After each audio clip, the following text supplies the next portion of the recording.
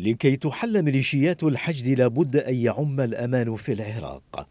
هكذا يشترط زعماء الميليشيات مع مرور سبع سنوات على إعلان تأسيس الحشد والذي شكل بفتوى دينية لمقاتلة تنظيم داعش إبان انهيار قوات الجيش الحكومي.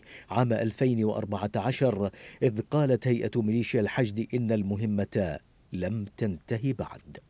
مهمة لابد وأن توجد لها الذرائع ومنها خلق فوضى أمنية لتكون سببا للإبقاء على هذه الميليشيات التي جعلت من العراق دولة خاضعة لإيران وفقا لتقرير صادر عن مجلة الإيكونوميست البريطانية. وطوال سبع سنوات مضت حرص زعماء الميليشيات الولائية المرتبطة بالحرس الثوري الإيراني على ترسيخ وجود الميليشيات وفرضها واقع حال على الساحة وجعلها قوى ليست رديفة للأجهزة الأمنية الحكومية فحسب وإنما أكثر عدة وعتادا منها. فضلا عن تمرير قوانين تحصن أفرادها من المساءلة على الانتهاكات والجرائم ضد الإنسانية. وخصصت أيضا نفقات لميليشيات الحشد ضمن الموازنة المالية لعام 2021 تقدر بنحو تريليونين وأربعمائة ألف دينار عراقي أي بما يعادل مخصصات ست وزارات مجتمعة.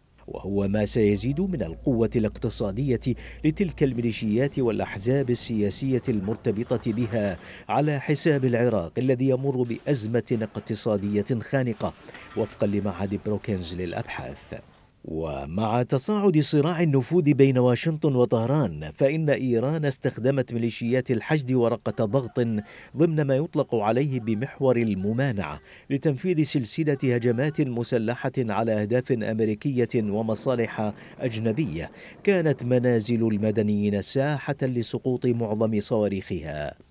إلا أن الكاظمي لا يجد سوى اللجوء للتصريحات الإعلامية ليدين ويستنكر سلوك من يصفهم بالخارجين عن القانون مع علمه بمن هم ومن يقف خلفهم وإن كانت تحمل مسميات غير تلك المدرجة ضمن مسؤوليته رئيسا للحكومة كميليشيا ربع الله التي استباحت بغداد واستعرضت قواتها بعرباتها وأسلحتها أمام أنظار الأجهزة الأمنية التي وقفت عاجزة عن ردعها وفرض سطوة القانون بحسب وكالة فرانس بريس.